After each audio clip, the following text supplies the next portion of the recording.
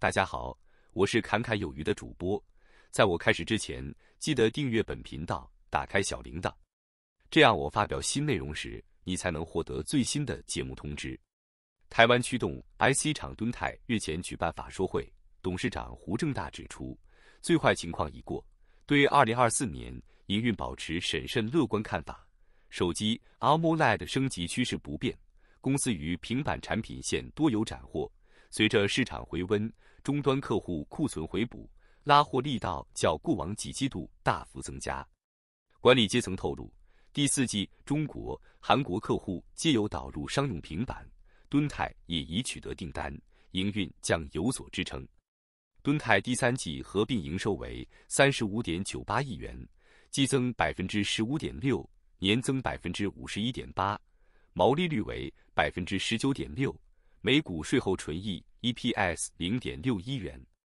累计前三季合并营收近百亿水准，达九十九点三六亿元，税后纯益二点八三亿元，EPS 一点三七元。胡正大强调，智慧型手机市场回温，本季将可延续第三季表现，各品项之 IDC、TDDI、AMOLED 触控。IC 阶有所成长，值得留意的是，商用平板取得新订单，获得众多客户导入，成长动能佳。展望二零二四年，胡正大看法审慎乐观，表示最坏情况已经过去，成长机会高，包括手机、平板、电脑，甚至在汽车领域，看起来都很有机会。敦泰于车用 IDC 产品，经过多年深耕。已导入多家传统及新能源车系，累计出货量已达一千五百万颗，深获中国客户青睐。新一代产品更大幅提升晶片效能，客户粘着度佳。敦泰积极导入国际一线大厂，持续为公司重要之成长动能。对于近期车用市况，胡正大表示，尽管车用市场面临逆风压力，然而仍看好车用的长期趋势。由于车内显示器数量、尺寸以及复杂程度将不断增加，历经产业调整过后，明年将有机会恢复成长。而在成本端，敦泰开始加大采用中国代工厂。胡正大认为，中国晶圆代工提供之较有竞争力报价，尤其在成熟制程部分，未来成本将快速下降。另外，也有助深化公司打入中国车用市场之布局。在此背景之下，台湾为巩固本地半导体产业发展，推出产业创新条例第十条之二及第七十二条条文修正案，提供了有史以来最高税收优惠抵减力度，施行时间为二零二三年一月一日至二零二九年十二月三十一日，将于明年二月起受理申办。申请若通过审核，后续就会退税给企业。有分析指出，该方案的实施。或将使台积电、联发科、联咏为最大受益方。其中，台积电二零二二全年研发费用达五十四点七二亿美元，约一千六百零八亿新台币，预计一年可省下三百亿新台币税额。联发科二零二二全年研发费用八百二十四亿新台币，在当地上市公司中研发费用排名第二。联咏二零二二年研发费用达一百六十亿新台币。也符合申请门槛。据悉，税收优惠适用对象为研发费用需达新台币六十亿元，研发密度达百分之六，购置用于先进制程的设备支出达一百亿元，且二零二三年有效税率为百分之十二的企业。此前消息，台湾晶片法案指的是产业创新条例第十条之二，其内容包含企业前瞻创新研发支出的百分之二十五。可抵减当年应纳盈利事业所得税，购置先进制成的全新机器或设备，支出金额百分之五得抵减当年度应纳盈利事业所得税额，且该机器或设备支出不设金额上限。另外，由于 AI 晶片需求持续旺盛，因此也推动了先进封装市场规模的同步放大。不仅台积电积极扩产，英特尔。三星等半导体巨头也全力投入，联电此前也宣布携手华邦、日月光投控及智源等供应链组成联盟，冲刺先进封装领域，让先进封装服务供应业者大增，新一轮市场激战一触即发。业界人士指出，随着生成式 AI、大型语言模型 LLM 等 AI 需求持续爆发，目前微软、亚马逊、谷歌、苹果、阿里、百度等科技大厂都在大举投入，刺激了对于 AI 晶片的旺盛需求。而 AI 晶片目前的产能则主要受制于先进封装产能，因此相关业者也在积极扩大先进封装产能。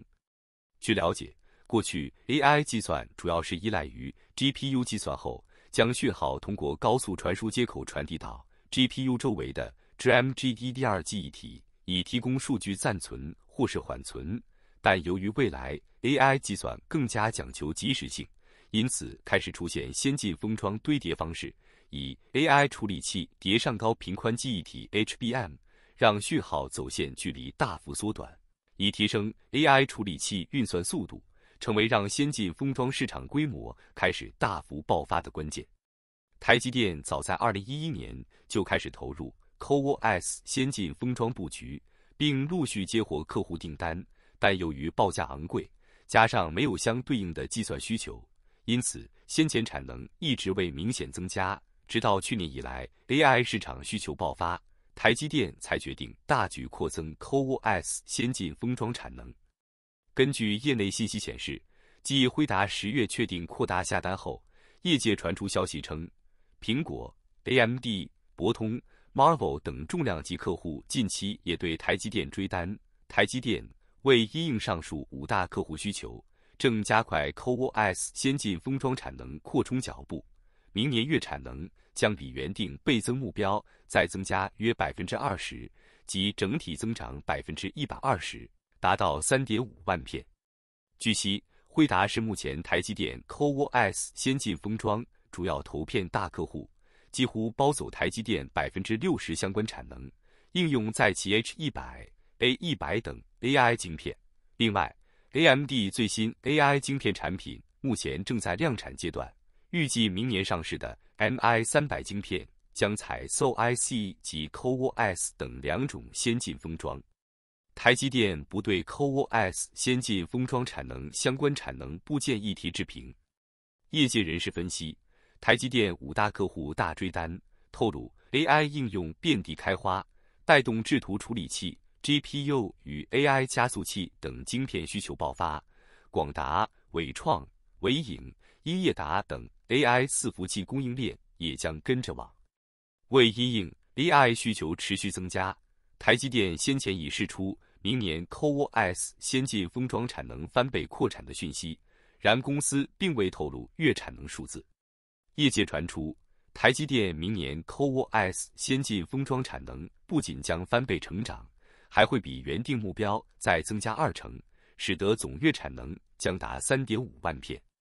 同时，AMD 旗下赛灵思一直是台积 CoWoS 先进封装主要客户，未来 AI 需求持续看增。不仅赛灵思、博通同样也开始对台积追加 CoWoS 先进封装产能。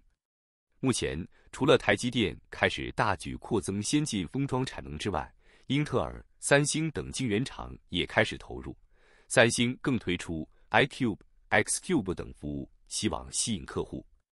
英特尔方面预期旗下最新先进封装服务将在2026年进入量产。不同于其他家主要提供以硅制成的中介层技术，英特尔选择以玻璃基板投入量产。当中缺点在于成本可能相对较高，且现在仅意法半导体有打造一条小型生产线，业界使用厂商较少，设备供应自然也有相对较少的问题。联电看好先进封装商机，日前也宣布将携手华邦、日月光、投控及智远等供应链加入先进封装市场。预期明年完成系统级验证后，将开始提供服务。不过，业界还是认为，三星最大优势在于具备记忆体生产技术。若能借由采用先进封装服务就能让价，将会是台积电接单上的最大劲敌。那么，本期影片到这里就结束了，感谢你的观看，期盼能与你产生共鸣。侃侃而谈，阔论有余。最后，请你点赞、订阅。这是对本频道最大的支持了，谢谢。